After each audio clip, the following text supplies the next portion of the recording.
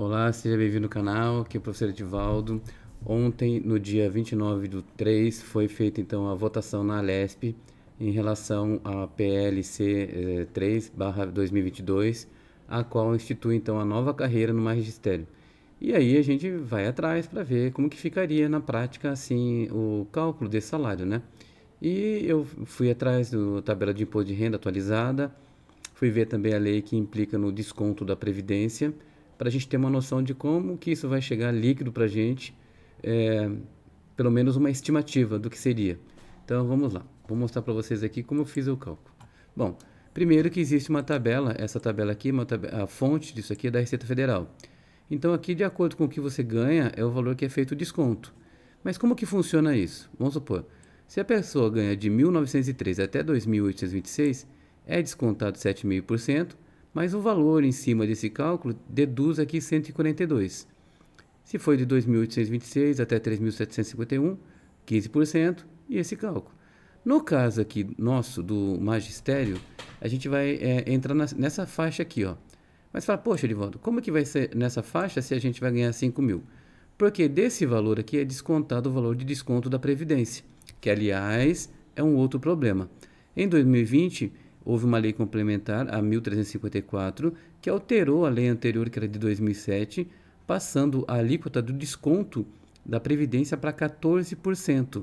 Então, olha só, como que é feito? Ó, o nosso salário novo na nova carreira seria esse aqui, 5 mil. Descontando a Previdência, que é 14%, dá 700 reais.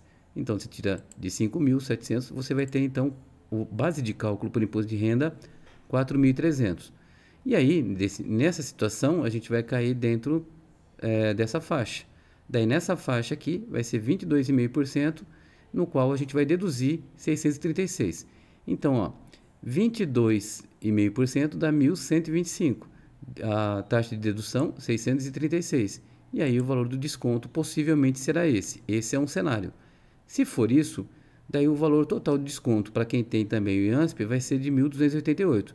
Se não tiver o IANSP, então vamos tirar aqui. Assim, uh, o valor seria do total de desconto seria R$ 1.188,87. E aí dos 5 mil, o valor líquido seria esse, 3.811. Vamos ver um outro possível cenário, caso o Estado entenda de maneira diferente. Se bem que eu já fiz o cálculo, já pesquisei e está certo. A taxa aqui seria, então, acima de 4.600, 27,5%. 27,5%. Beleza daí o desconto aumenta. Só que daí a taxa de dedução seria 869. Então, olha lá.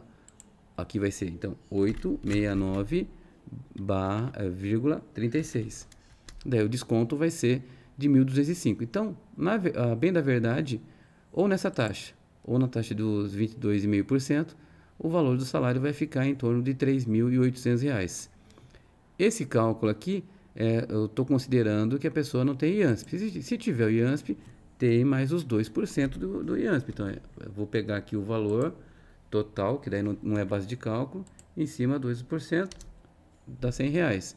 Daí o salário cai um pouquinho mais para 3,694. Se tiver dependente do IANSP também, isso acontece, vai ter um, uma porcentagem a mais ainda de desconto. Mas basicamente esse é o valor líquido no qual a gente vai receber nesse plano da nova carreira, então, que foi votado ontem, meu Deus do céu. E aí eu sei que alguns vão falar assim, ah, mas tem muita gente que não ganha isso. Pois é, mas a gente faz uma faculdade, se prepara, tem, é um profissional e acaba que a gente não tem o nosso salário é, valorizado. Para quem não está na nova carreira, vai haver então um reajuste de 10%. Como que eu faço para ver se vale a pena? É fazendo o cálculo. Aí, fazendo o cálculo, a gente vai ver se vai valer a pena se manter na carreira atual que você está e ou se não na nova carreira com esses valores aqui. Ah, mas eu sou é, efetivo e eu tenho quinquênio, tenho sexta parte. Bom, aí você vai fazer o cálculo dependendo do valor que você tem. Junto com os 10% que vai ser acrescido no seu salário base, você vê se o seu salário vai ser menor do que esse. Tá certo? Bom, era uma informação. É, tem muita novidade além dessa, né? E espero ter ajudado e acrescentado alguma informação aqui. Até a próxima. Valeu!